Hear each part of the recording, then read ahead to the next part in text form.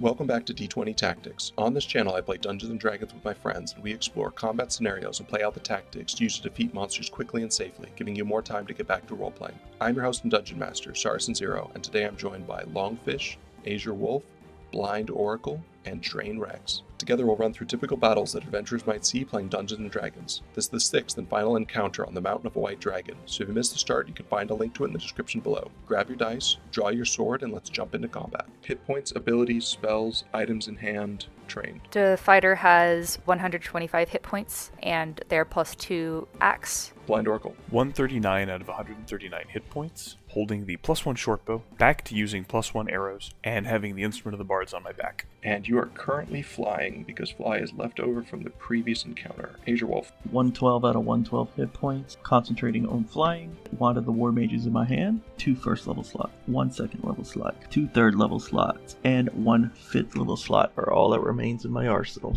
Longfish. Currently at 137 hit points, holding a Warhammer and Shield plus 2.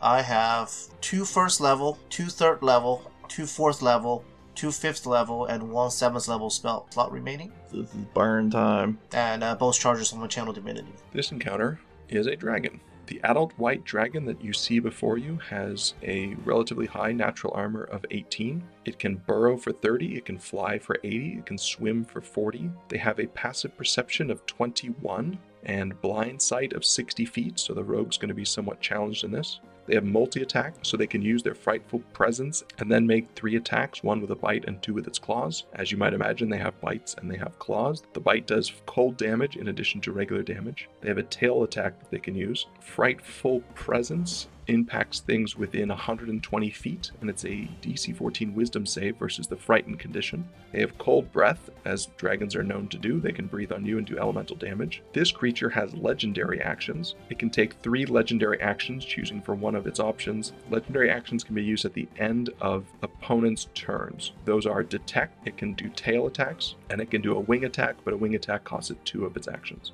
This encounter has lair actions. At initiative 20, the dragon takes a lair action to cause one of the following effects freezing fog fills the area, jagged ice shards fall from the ceiling, or the dragon creates an opaque wall of ice on solid surface. It has immunity to cold. Terrain. There's a couple of trees and difficult terrain for people to hide behind if they want to.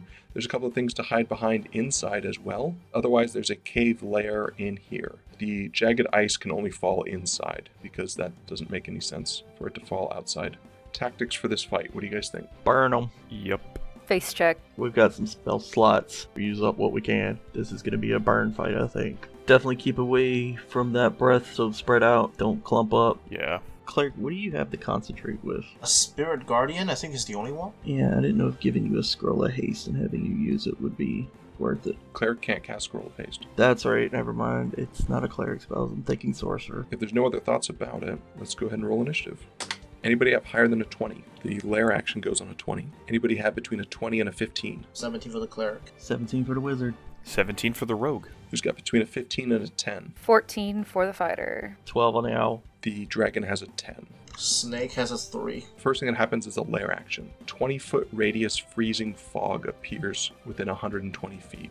Each creature in the fog, when it appears, which is everybody, make a DC 10 Constitution save. Oh no. You're good at these. I rolled a nat 1. Oh, Indomitable? Wait, you are that good at these. What's your total? 11. That'll pass. Alright. It's 10 damage or 5 on a success. Tell me about it, Blind Oracle. A 6 for a fail, so that's 10 damage. It's cold damage, though. Correct. So I have boots, which will give me resistance to cold, so I'll take 5. Train, With the resistance, round down, so it's 2 damage. Azure Wolf, 16 on the first save, 15 for the con. Part of that's going to the cleric, right? Cleric, you got a warding bond on him. Yeah. You each take 2. Snake Snake pass was an 18. It's going to take 5. The Owl, He's going to freeze. Longfish. Cleric got an 11. That's the lair action. After the lair, we go to the cleric. Run me towards the northwest. It's actually still in the cold because of the way that radii work. How about one further up? You gonna dash? Yeah. Can you dash me under the other tree? Bonus action, nothing.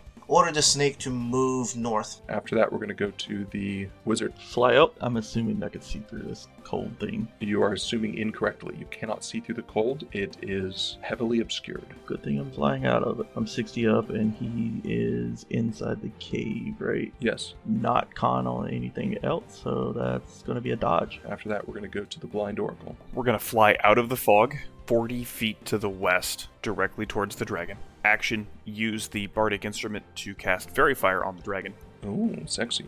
It's a DC 13. He's going to fail. Any creature in the area when the spell is cast is also outlined. For the duration of one minute, any attack roll against an affected creature or object has advantage if the attacker can see it, and the affected creature or object can't benefit from being invisible. Now I should have 20 feet from my original move left, so we're going to go 20 feet up, and then we're going to take the dash action, go another 60 feet up, so a total of 80 feet up. I was really hoping I could get you to burn legendary resistance on a cheap faerie fire. It wasn't a tactical maneuver. I literally forgot about it. But now that I'm thinking about it, like, nah, I'll just did it. After the blind oracle is the train. Move west, which was the direction I last saw the dragon. Prepare an attack in case it comes anywhere near me. After the train is the snake. Snake's gonna move north and should be able to hide behind the big tree just outside the cone. That's still technically within because of the way radii work.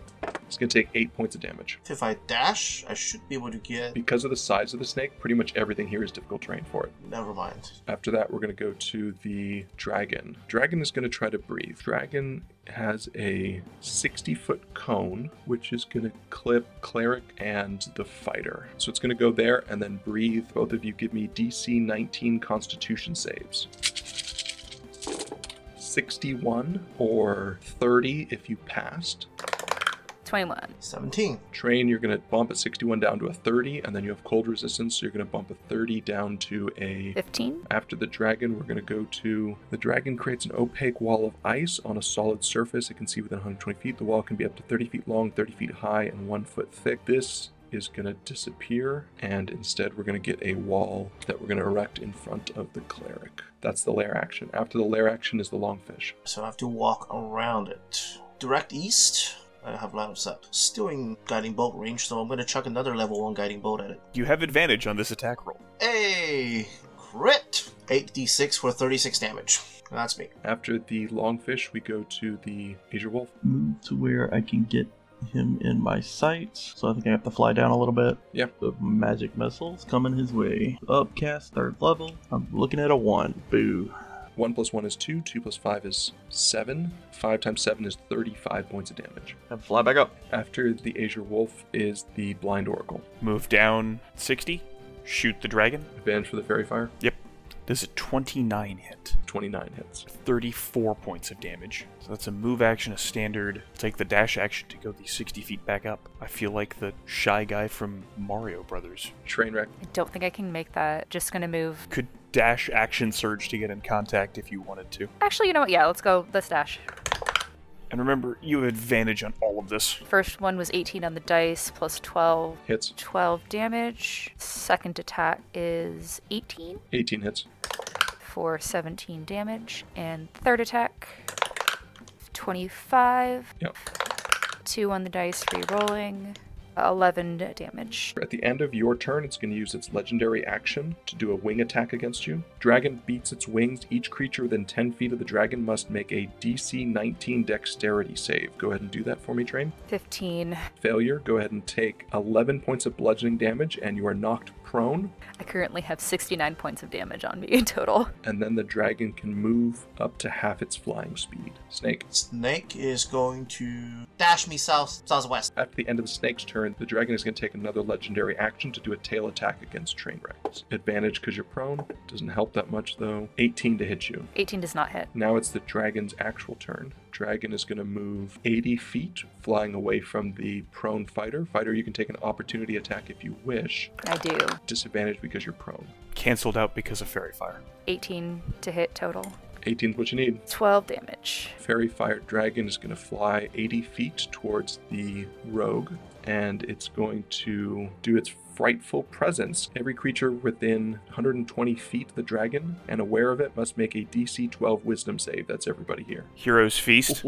That's close. Hero's Feast, you guys are immune to the frightened condition. The snake is not immune to it. Snake did not eat, okay? Snake needs the So give me a DC 14 wisdom save. Roll a 19. Let me see if I have a. If a. you have a negative 6 to wisdom, you don't have a negative 6 to wisdom? Okay. Then it is immune to dragon fear for the next 24 hours. The dragon is going to try to recharge its breath, fails to do so. The dragon is now going to chow down on some halfling, Okay, or at least it's going to try. Bite attack, 17 to hit you. on the nose. Sorry, halfling. 17 points of piercing damage and 7 points of cold damage for a total of 24 points of damage on that attack. We're gonna use our reaction to half this. So you're going to half it down to 12. Yes. And then we'll half the cold damage again because of resistance. The 7 goes to a 3, and the 3 goes to a 1, so you can take 10 instead. Exactly what I was going for. Oh, you a con save, 10 on the button. That's what you needed. Then a claw attack. 26 to hit, That'll hit. take 10 slashing, and a concentration save. Looking for a 10. Getting a 13. That'll do it. 18 to hit, Hits. minimum damage of 8 slashing. Constitution check. Halfling luck kicks in. Oh, Save with a 13. that's my actions. After the dragon, we're going to go to the lair action. The lair action is going to be to pop fog in this circle here. We're going to do it 80 feet up in the air. It is heavily obscured. Go ahead and give me a DC 10 constitution save. Pass with an 18. Great. You're going to take 12 cut to 6 cut to 3. And a concentration save. Hunting that faerie fire. I am. I should have resisted it in the beginning. Told you. Con save 23. After that, uh, we're going to go to the longfish. Burn them. Let's chuck a level 5 guiding bolt at the dragon. Disadvantage because you can't see it. Advantage because it has faerie fire. 13 plus 10, 23. 23 hits. 30 damage. And advantage to the next person. Bonus action, I am actually gonna revert the snake back. That's it for me. Legendary action at the end of Longfish's turn. It's going to use its legendary action to do a wing attack. Give me a DC 19 dexterity save, Mr. Rogue. Sure. Ooh, a 12. That'll fail. So go ahead and take 17 points of bludgeoning damage. You are knocked prone, which means nothing in this case. And I can fly up to half my flying speed, but I like my little bubble, so I'm going to stay in it. 17 for the con save. Cool. After the long fish is the Azure Wolf, He is obscured. Even if I fly up, I wouldn't be able to see him. but he also can't see you. You can still see him. He's outlined in bright light. Like, he, he exists as a concept for you. You can detect him, but you cannot see him. Those are different. My spell requires see. That's the big part here. But let's fly up some more. What else is there to do right now? And then dodge. After the Azure Wolf, we're going to do a legendary action to tail attack the rogue.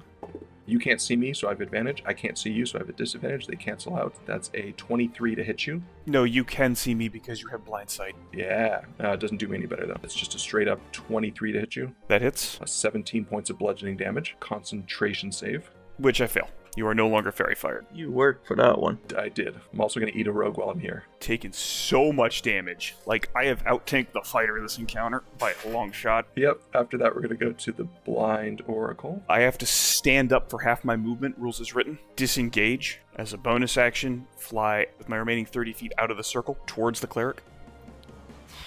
Man, dragons suck for rogues. Mm-hmm. Dash action to go behind the fighter. After that, we're going to go to Train Rex. The last I saw the dragon is in the air, correct? Yeah, you know where it is. You can detect its position. You just can't see it. But I could not reach it if it's in the air. Wait, what's the distance on javelins? Short range is 30, 120 for disadvantage. You got disadvantage anyway, so it's not going to do anything different. So I'm gonna throw a javelin. Guiding bolt cancels the disadvantage. It can't see you, so that cancels the disadvantage also. So that's 14 to hit. 14's a miss. Clatters off the scales. All right. After the train is the dragon. Dragon is going to recharge its breath, or at least attempt to do so. It's going to fail to do so, so I can kill a rogue, I think. You should be able to kill me this turn. I just got to get to you. Oh no. Flying over the top of the fighter so that we don't provoke an opportunity attack. First one is going to be a bite attack, 15 to hit you. Miss. Second one's a claw attack, 14 to hit you. Miss. And then the last one is a 16 to hit you. I got a 3, a 4, and a 5. That will miss. No, you can't kill a rogue this turn. That's a dragon. After the dragon is the lair action. The lair action we're going to do here is to create a wall. Yeah. Wall me in. Yeah, we'll just take one of you at a time. After that, we're going to go to the longfish. Move me as close towards the fighter as possible. So the wall completely blocks line of sight. It's an opaque wall of ice. Yes. Yeah, no good action. After that, we're going to go to the legendary action of the dragon. Dragon's going to tail attack the rogue. Hopefully, we do better than last time.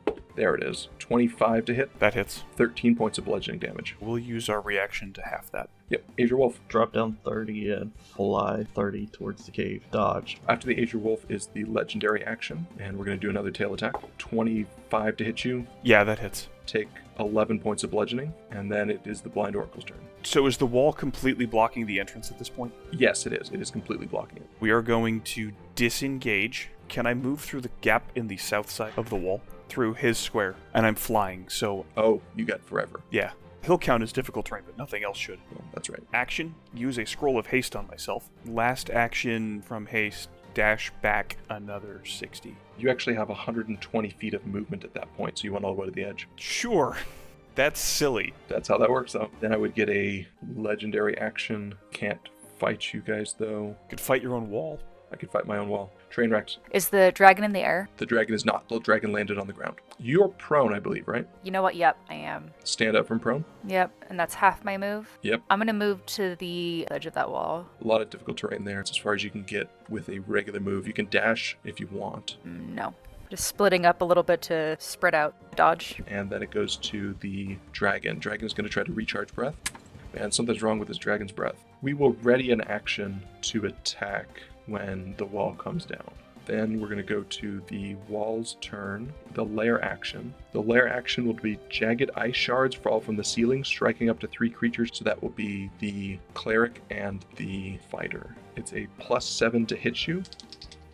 Cleric, that's an 18. No miss. Fighter, that's 22 Hits. take five points of piercing damage. Well, that wasn't nearly as good. The dragon is going to use its readied action to make a tail attack against the fighter. 28 to hit a fighter. Yep. Take 15 points of bludgeoning damage. And after that, we're going to go to the longfish. I'm not in his reach, right? Correct, you are not currently in his reach. Alright, move east five squares. And I am going to throw a scroll of harm at the dragon. Improvised weapon attack for throwing a scroll. Harm is a constitution saving throw at DC 18. Takes 14 d6 necrotic damage. Plus 11 for his constitution, so he's going to pass. 44 half to 22. On the end of your turn, it's going to take a legendary action, wing attack. The dragon beats its wings. Creature within 10 feet of it must make a DC 19 dexterity save. That's you, fighter. All right. That is a 15 on the dice. So that's a failure. You're going to take 16 points of bludgeoning damage and be knocked prone. The dragon can then move up to half its flying speed. It's going to move here. After that, we're going to go to the Azure Wolf. Yay! I think this is about the best option here, doing the math. Magic Missile, level 5. 3 on the dice. 3 plus 1 is 4, 4 plus 5 is 9, 9 times 7 is 63. So it's going to take 63 points of damage and drop. Yay! Ooh. And that was the dragon encounter. We did it. Oofed. You have cleared out the dragon's lair, and you're going to collect all of the loot that the dragon has collected. You're going to get 42,000 gold, which is a 10,500 gold split. In addition, in the hoard, you find a belt of hill giant strength, a short bow plus two, a spell scroll of reverse gravity, and a spell scroll of resurrection. The assumption, although this is not required, is that the belt goes to the fighter, the short bow goes to the rogue, the reverse gravity goes to the wizard, and the resurrection goes to the cleric. But if you guys have other ideas, I'm willing to hear them. The next dungeon for these adventurers is going to be a Beholder Cavern, which I think is going to be interesting. Another lair fight, and probably some legendary actions. So we're going to head back underground to see what the Beholder has collected. The adventurers have defeated the dragon on the top of the mountain, so that's the final encounter. The players will now level up to level 14 and move on to the next dungeon. Next week, I'll release a video with all six encounters from the White Dragon Mountain, and we'll talk about the particular challenges of the different encounters. Thank you for stopping by. I'm Saracen Zero, and I will see you next time.